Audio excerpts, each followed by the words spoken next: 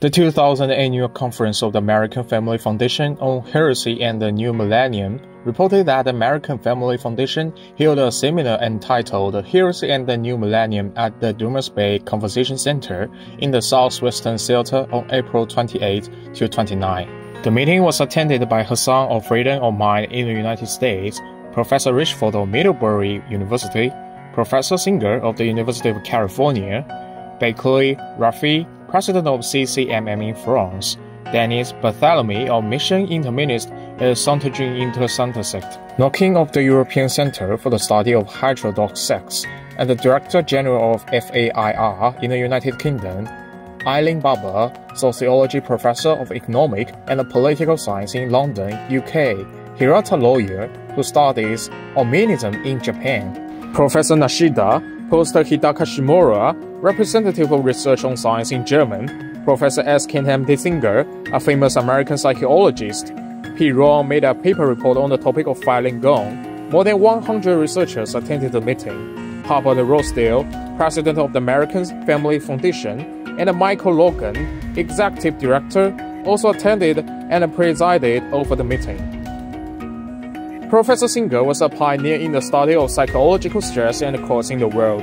Her early works included Cults in Our Midst and Crazy Therapies. What are they? Do they work?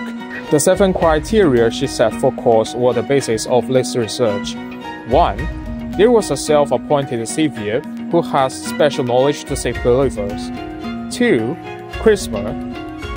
3. Enthusiastic in developing believers. 4. Divide me and him and think that only I can be saved, and he can't be saved. 5. Self-centered, worship master. 6. Double moral standards. 7. Authoritarianism and authoritarian management. Professor Singer believes that the work of legal theory meets all the criteria. She learned from the material sent to her by Falun Gong that Falun Gong believed that cults were social and involuntary organizations. Professor Singer believed that this definition was only adopted by Falun Gong itself. Few cults in the world lived in groups, and the members who joined them were voluntary. Therefore, the cult should use deceptive means to attract believers and make them give up thinking and become the tool of the cult. According to Professor Singer, she had consulted 44 Falun Gong families in the past year, including 35 families with Chinese backgrounds. The Chinese families she contacted were all women. Their reasons for seeking help were basically the same. Their children, grandchildren, and younger brothers suddenly lost contact with their families. When family members talked to them on the phone, they sounded like a voice recording to read Zhuan Fa Lun. The most disturbing thing was that these disciples thought their family members were demons. They believed that those who don't believe in Falun Gong, including their relatives, were opposed to their disciples. Professor Singer believed that Falun Gong was a dangerous cult. She believed that Falun Gong's propaganda means were also very sharp.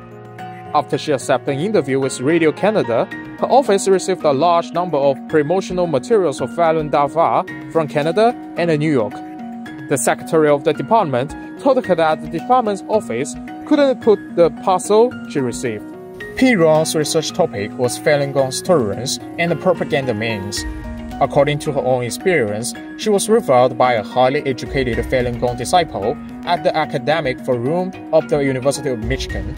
It isn't easy to have a rational discussion with Falun Gong disciples. Mr. Ron said that she believed that the misunderstanding of Falun Gong in the Western media was the result of Falun Gong's successful propaganda. Falun Gong equals the human rights issue with their cult behavior and has won the sympathy of the press in the West. So far, there are only three sources of information about Falun Gong in the US press Falun Gong, the Chinese government, and the Chinese Human Rights Information Center of Lu Siqing. In the current environment, the press's judgment of Falun Gong is influenced by Falun Gong and Lu Siqing. Falun Gong, derided as authoritarian sect by anti-cult experts in Theatre Don Lattin, a religious writer of the San Francisco Chronicle, said that Falun Gong a fast-growing Chinese spiritual movement banned by the Chinese government, was attacked by the anti-cult movement in the United States. At the Cults and Millennium conference held in Seattle, three speakers criticized the heresy. This sect has attracted thousands of new followers among Chinese Americans in the Bay Area, New York, and other urban areas. If you want to know what cults are, you just need to read their books and read their self-description. The speaker is Margaret Singer, a psychologist at the University of California, Berkeley, who has lonely insisted on fighting against authoritarian religions organizations.